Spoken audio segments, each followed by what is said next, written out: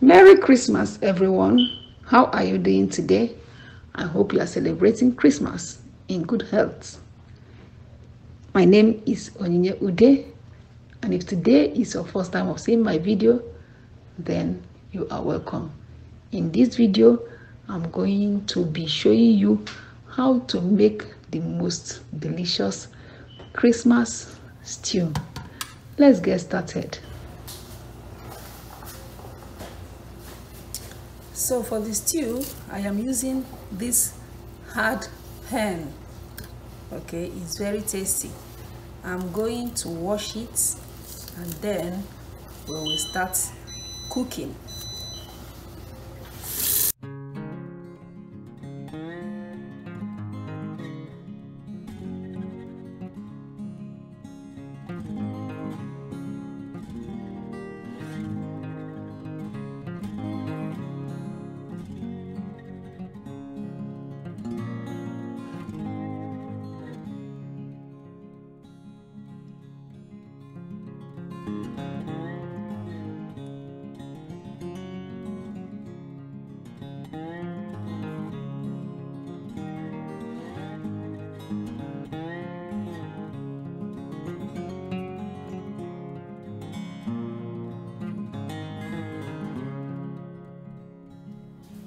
So one trick in making a tasty Nigerian stew lies on how tasty your stock is, your protein. How tasty the stock is. So we are going to season this meat properly. It can be fish. We are going to season it properly. I'm going to add salt and bouillon. This is salt and bouillon.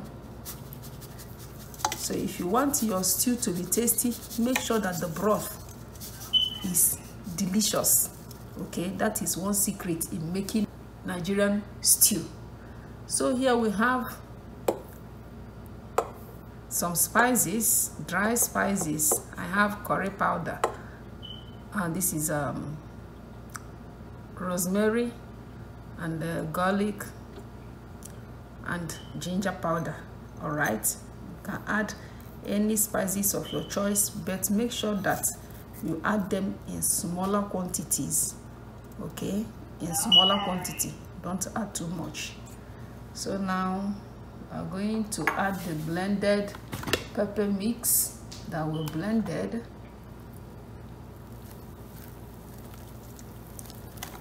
onions pepper fresh ginger fresh garlic. Okay we're going to make the broth tasty. That is one secret in making a tasty delicious nigerian stew. I am going to cover the pot and let the meat cook in its own broth. Okay before adding water. We need water because this chicken is a hard chicken. Okay so in our video today i am showing you how to make the most delicious tasty stew ever okay? There are tricks to it. And the first one as i said is how you seasoned your broth your protein okay? Already we have started cooking our meat and i've added more water because the meat because the chicken is a hard chicken and it needs a lot of water to cook. So now the second trick is how you treat your tomatoes. Today i am using tomato puree. I'm not using fresh tomatoes. In most of my cooking here in america i use tomato puree. So uh, i have the tomato here okay? You have to fry it properly to make a delicious stew tomato stew you have to bring out time whether it is a fresh tomato or tinned tomato like i'm using fry it with oil properly until it is dried and the oil starts settling on top of it okay? Fry it properly. It's gonna take a little time but it works all the time. So this is my tomato and this is the onions I am going to be using. I have three ingredients in this particular set, in this particular cooking. In preparing the tomatoes, I have just three ingredients, the vegetable oil, the tomato itself, and the onions. I'm gonna add bay leaf. So let's get cooking. Ordinarily, I'm supposed to slice these onions but I'm going to cut it in halves and then blend it. The reason is that I have picky kids so and I'm supposed to use onions. So what I do is to blend it with vegetable oil and not water. You blend your onions. If you are the type that doesn't want to eat onions or see onions in your food you blend it the way I'm going to do now okay and put it in your food. So I have picky kids so I'm going to blend it. This is how I make my stew in my home. I blend the onions with vegetable oil. Let's get so I'm going to add put the, the onions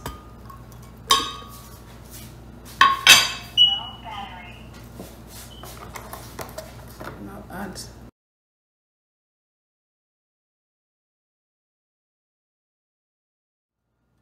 add our oil. Remember we have oil in the tomato in the onions okay? But when you are frying stew you need oil to fry it. When you are frying tomatoes you need oil to fry it properly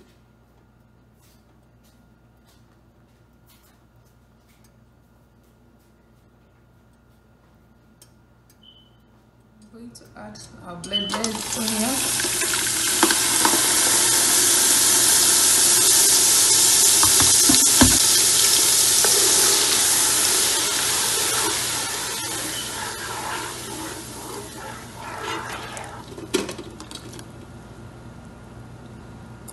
Then I have bay leaf and curry powder. If you don't want too much spices, you can do with the one you have in your protein okay? And it will still come out very tasty.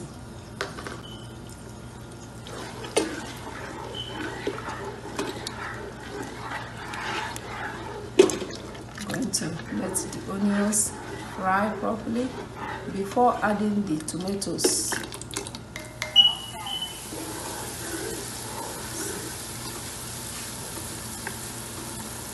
At this point it's translucent okay? So i'm going to add the tomatoes.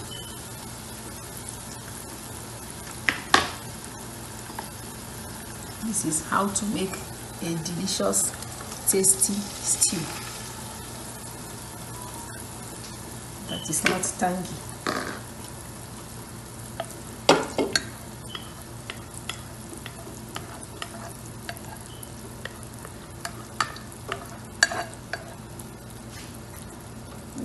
It up.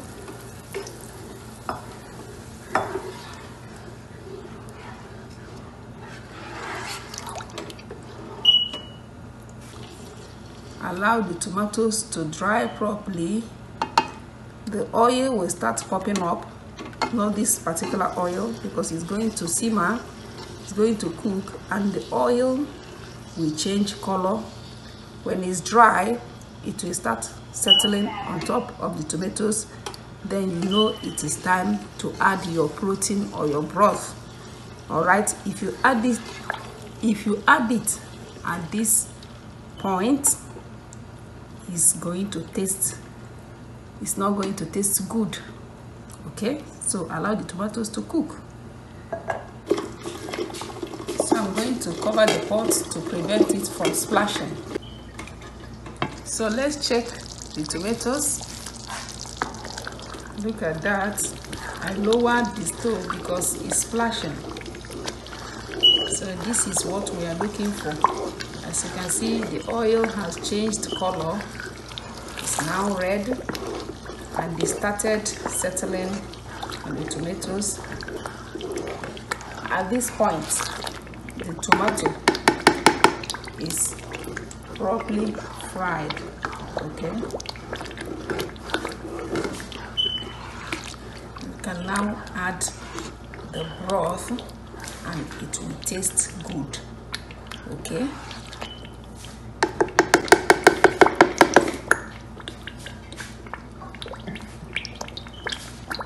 So i'm going to add our broth from the chicken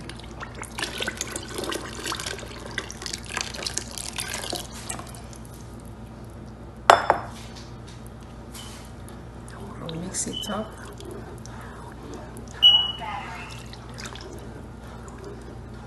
promise you if you follow this step your stew will come out very tasty like a professional cook.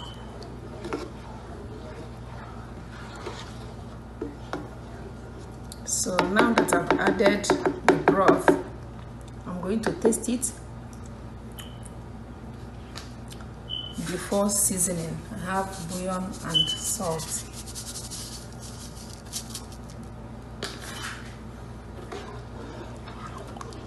I just added the broth. I'm gonna add the meat later okay? Let the broth simmer very well before we add the meat so it doesn't overcook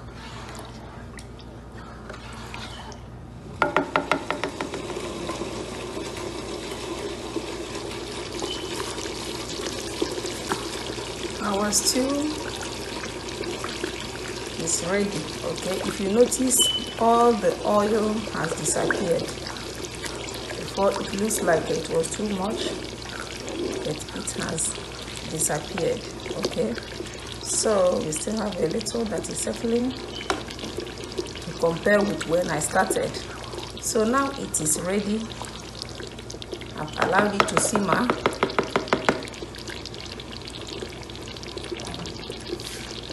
let's put our meat.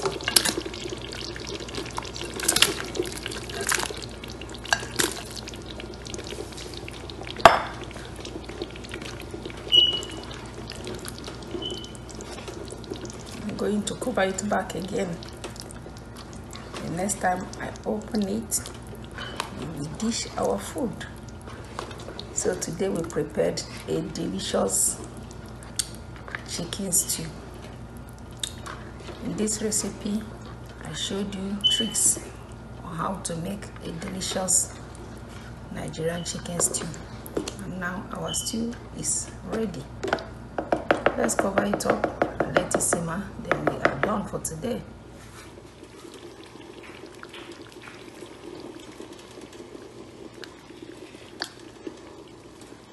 so our stew is ready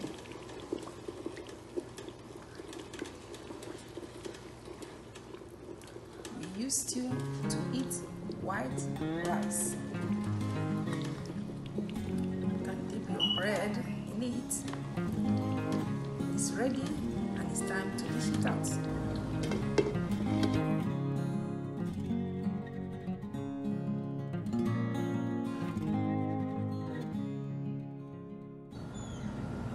Look at our tomato stew.